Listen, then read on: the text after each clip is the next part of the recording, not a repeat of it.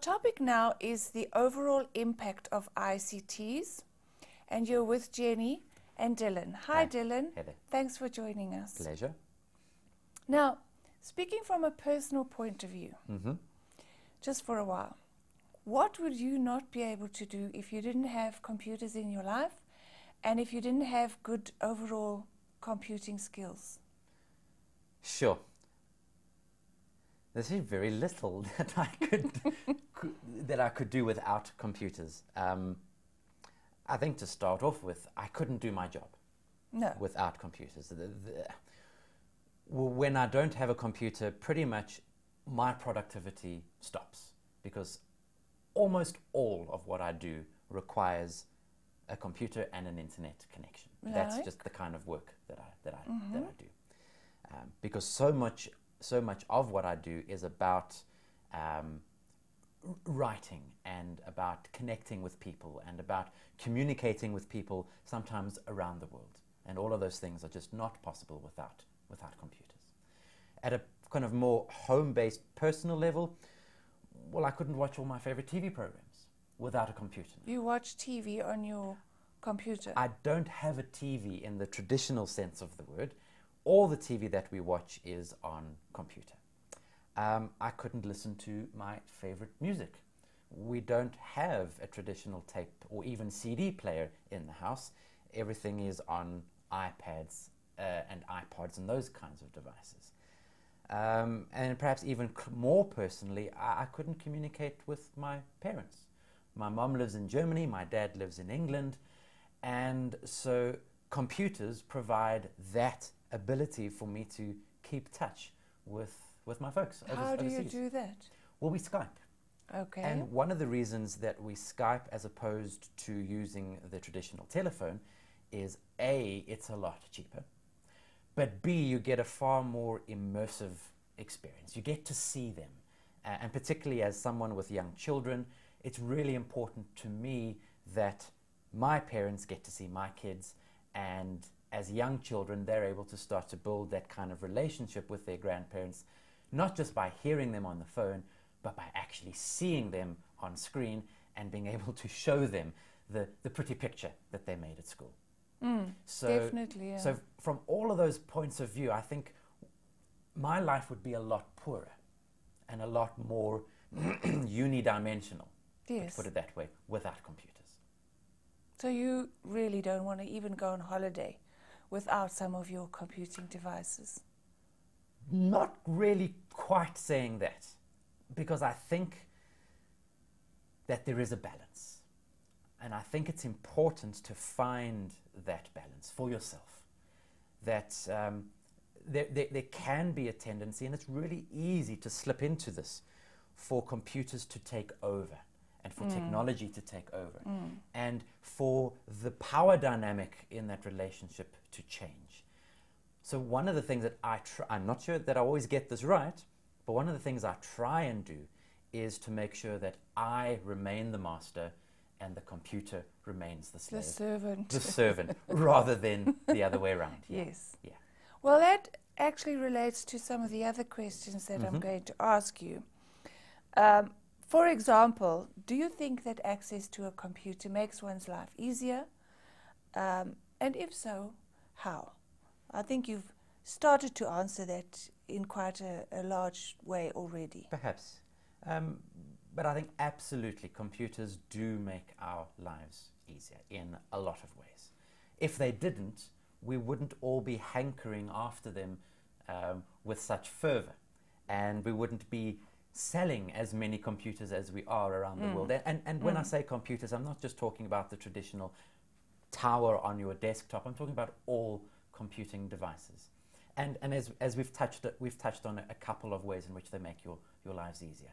Um, but I think they certainly do bring added dimensions and allow you to do things that you couldn't do without them, like talking to parents overseas, like in my case, actually doing my job. Um, my, my wife's a teacher, and, and she uses technology in her job as well. We also use technology at home um, in terms of, of, of supplementing the instruction and the education that our kids get at school. Yes. they're not always going to be able to get everything that we want them to have there. But now we've got the means to be able to introduce other kinds of education into the home and just keep that learning environment going way past the end of the school day as well. Mm, mm.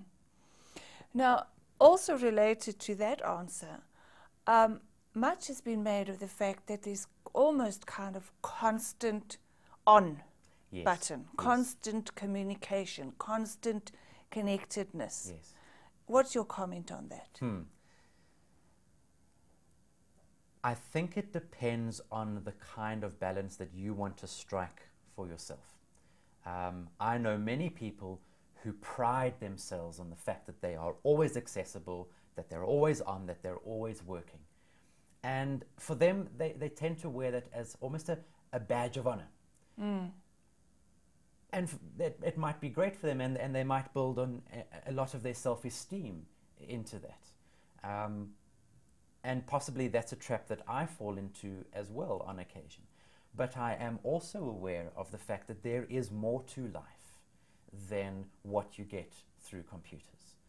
And I think that there's a danger often of us thinking that our life can be reduced to what's on my phone mm. when it hmm. can't be. Where human relationships, actually spending face to face time with people, is sometimes equally, if not more important. And I'm not just talking from a personal perspective of family life, I'm also talking from a, from a work perspective as well. Sometimes that ability to physically connect with somebody over coffee, in a meeting, over lunch, or whatever it might be, is invaluable and a lot more valuable than simply communicating over email or, or even Skype. Because there's so much that we say mm. with our bodies that is lost when you're only communicating with technology.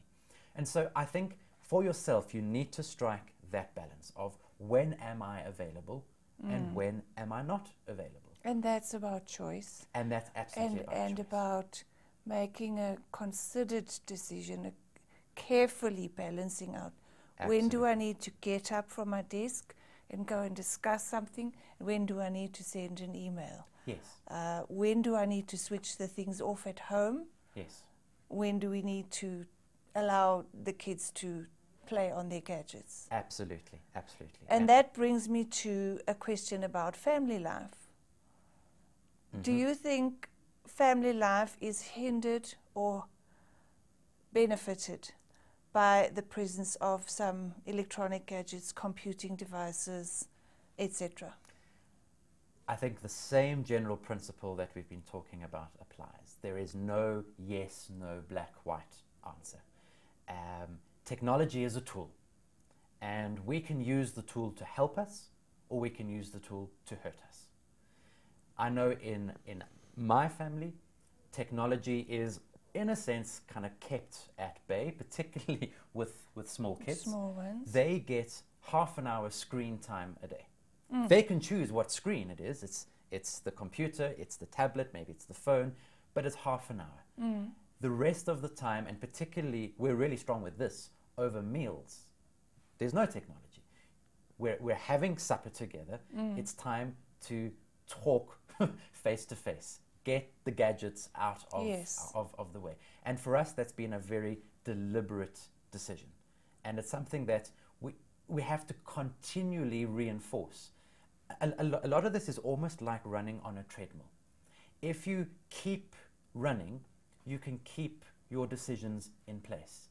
Um, but I think if you stop running, if you stop being deliberate, there's just this, this natural tendency for technology to just take over mm. and infuse itself into every part of your life in ways that are helpful, but I think also in ways that are hurtful and mm. damaging to human relationships. Mm. And, and there's an old saying that very few people on their deathbed look up at their dear wife and say, Oh, I wish I spent more time at work.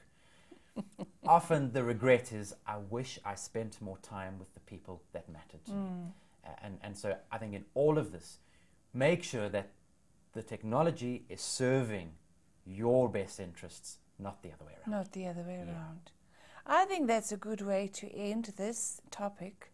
Um, I think we've seen that it's about making careful choices, using your technologies beneficially, yes, deciding which ones you want to use and when you want to use them. Thank you so much for joining us.